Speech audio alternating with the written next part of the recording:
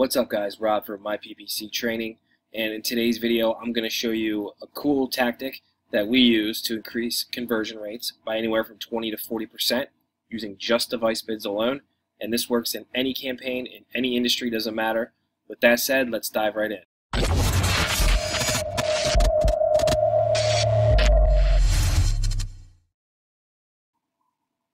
Alright guys, so you should be logged into your AdWords account be in your campaign, see your home page here, and this is really simple too. We're just going to log in.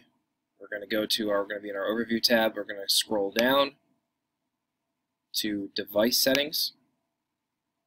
And we're going to make sure that the date range we're looking at is at least minimum 30 days. Ideally, the, the more data you have, the better. Right now I'm doing all time because this campaign is pretty new still. And you can see here we have clicks, impressions, click-through rate, average cost per click, number of conversions, cost per conversion, and conversion rate. Now, if you don't see these columns, that's okay. It's very simple to do. You just simply go up here, go to Modify Columns, and you choose whatever you want to add, and then you just hit Apply. Really easy stuff. So looking at this data, we can see we're getting desktop computer leads for about 113 a piece, and they're converting. The conversion rate is 28.57% is not bad. Come down here to tab. We have mobile turned off 100% because the site we're, uh, we're running to is just not that that it's not that great on mobile.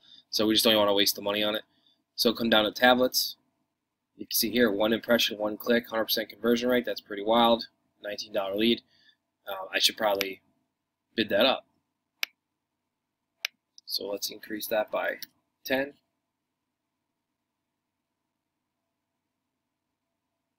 And our desktop it's a good click-through rate. Let's say we want to get more leads from that. Let's bump this to 15% so after you make your adjustments let it run for seven days then you come back and you check out your stats again and just keep optimizing like that. And it's really that simple guys. And look at the difference.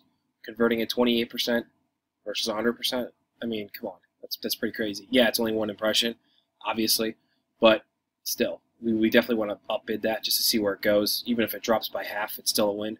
Or even, you know, 75%. If it gets down 25% or whatever, it's still a win. You know, we want to, we ideally, every AdWords campaign you work on, you want to have a minimum conversion rate of 25%. Like that should be your benchmark. And a lot of the campaigns we see and we come across are in the, you know, one to six range, and it's you're just gonna get crushed. I mean, you got to if you if you're gonna make an ROI in the campaign, you got to be converting at 25% and I'm actually going to roll out a few videos showing some landing pages, and I'll give them to you guys for free of different landing page designs that we use that convert anywhere from 25, and we have one that goes to 61%. It's pretty wild. So stay tuned for that. As always, guys, if, if you like this video, please share it. Subscribe to our channel. We're going to make a lot more cool stuff that's going to be coming your way. And also in the description, we've dropped a link to our Facebook group. Make sure you join that.